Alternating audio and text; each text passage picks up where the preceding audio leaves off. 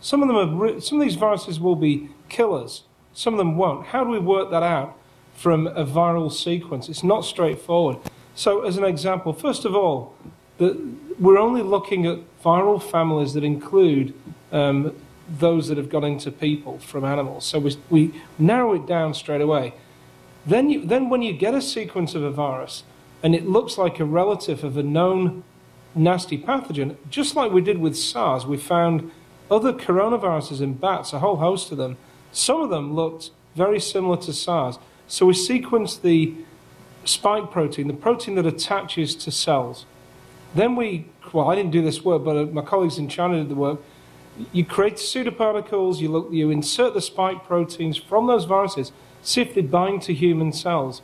And each step of this, you move closer and closer to this virus could really become pathogenic in people.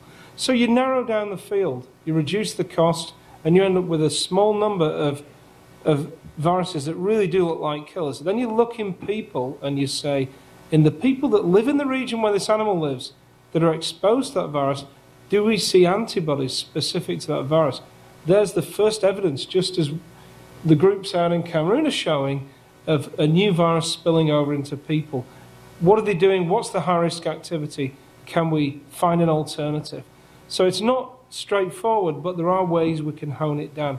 And I think we've just got to do it. It just makes sense economically and for humanity's sake.